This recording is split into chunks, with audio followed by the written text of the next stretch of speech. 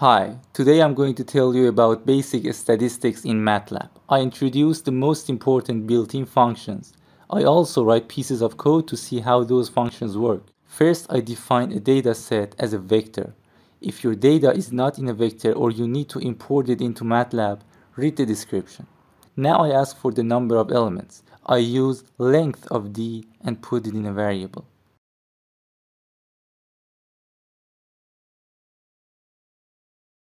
To find the mean value of your data, you can use mean function. This is the formula to calculate it. I can implement it like this. The sum function returns the summation of all elements of D.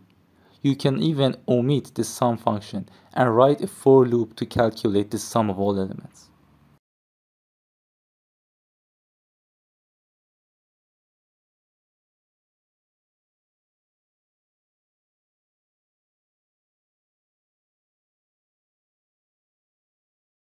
Next, we calculate the standard deviation. The std function calculates it. Having its formula, I write a piece of code to find the standard deviation.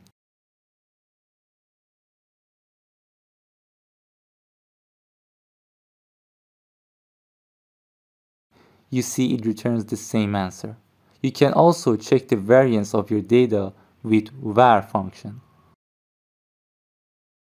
it is equal to sigma square. So this is its formula. Now to see the distribution of my data, I plot a histogram. I type hist of D. And there it is. If you add a second argument, you can change the number of bins. By default, it is 10. So hist of D and 10 plots the same graph as before. I show you different number of bins.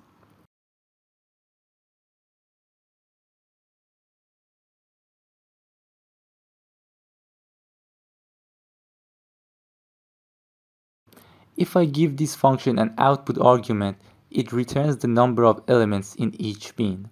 So having the number of elements, I can plot the histogram myself as a bar graph. If I compare it to the graph from hist function, I can see its x components are different.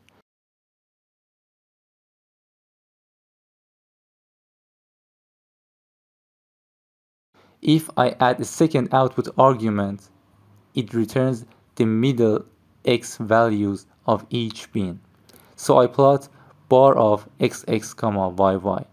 You can also change the width of your bar plot to 1 and that's how to set up a histogram using bar function.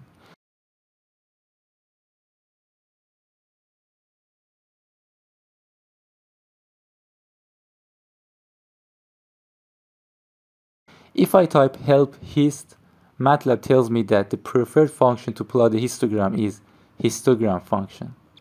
There are numerous differences between hist and histogram, but I only focus on the major ones. First, you can see some difference in coloring. This is due to the transparency of these bars. If you call histogram with an output argument, it returns the graph object.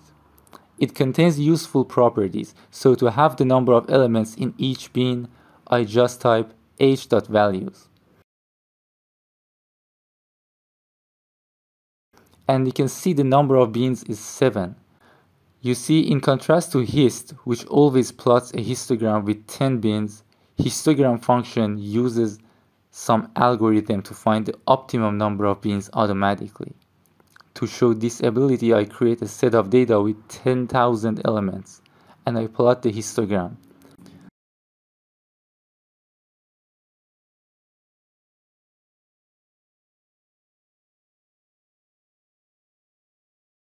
You see it has 37 bins.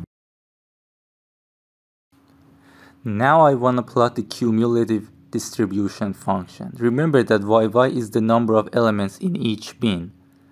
Now to calculate the cumulative distribution, I use this function. It calculates the sum of all previous elements, so the cumulative summation can also be coded in this way.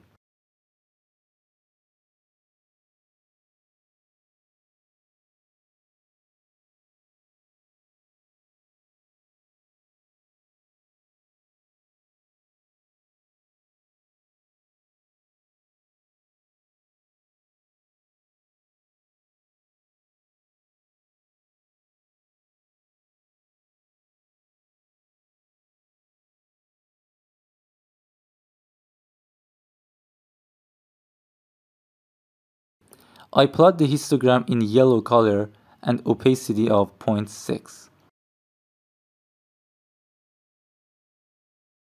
This setting makes the bar colors a little transparent. Then to add normalized cumulative distribution in a second vertical axis, I type yyaxis right. Now whatever I plot is going to be associated with the right axis.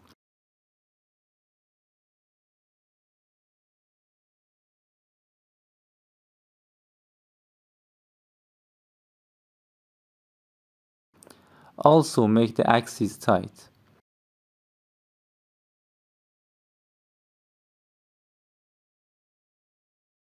Two more functions I want to mention are range and median. Range is the difference between maximum and minimum of data, and median is the middle value in sorted data.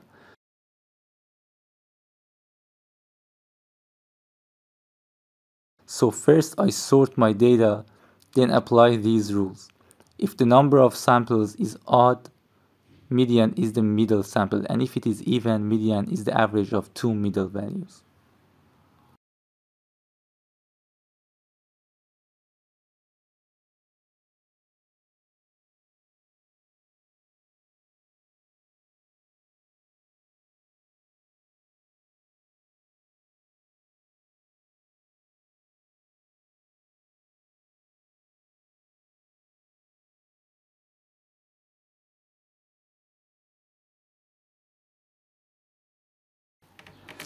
Probability distribution function. Here is a table of several probability distribution functions in MATLAB. I only want to focus on the most common one, the normal probability distribution function. This is the normal distribution formula. Having mu and sigma, which stand for mean and standard deviation of data, you can find the probability of any point. So I firstly need mu and sigma.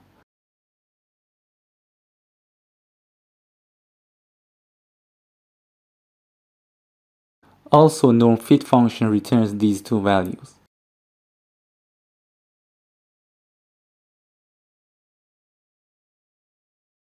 Now to find the PDF for 200, I use normpdf function.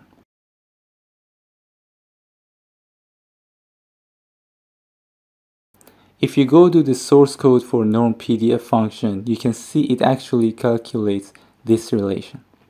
More importantly is the normal cumulative distribution function, which integrates the normal distribution function over minus infinity and x. With a slight change in the independent variable, we can write the cumulative distribution function for z. And this area is what this function calculates. For z equal to 200, this is the normal CDF. If I want the probability in an interval like this, I should reduce this area from this one. So I reduce normal CDF of 120 from normal CDF of 200. More easily, you can write the above line like this.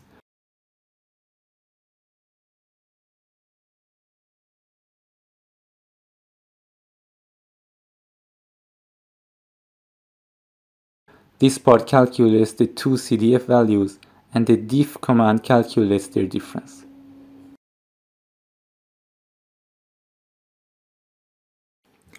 Linear regression. I define x and y for a new set of data and visualize them in a scatter plot. To fit a line means to fit a polynomial of order 1, so I use polyfit function like this.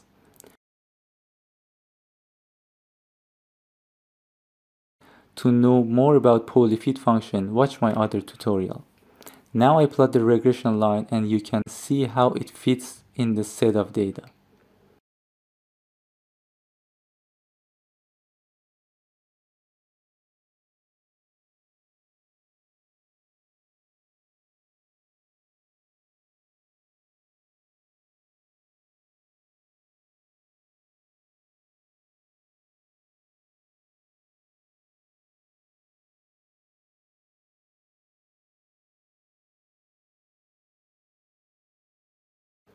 If you want to add a confidence boundary of say 95%, here is what you should do.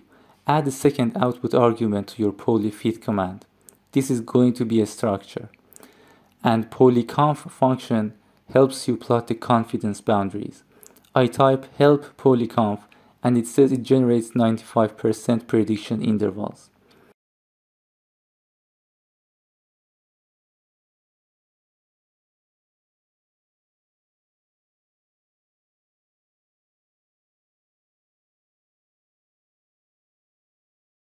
Now that I have y hat and w, I plot y hat plus w and y hat minus w.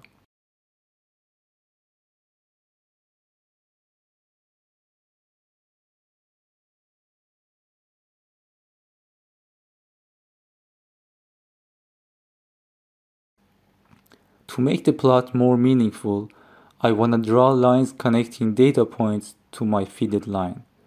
Remember that if you ask MATLAB to plot a matrix, MATLAB will plot separate lines for each column.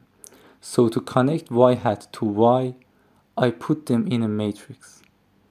Also, they must have similar x coordinates to show vertical lines.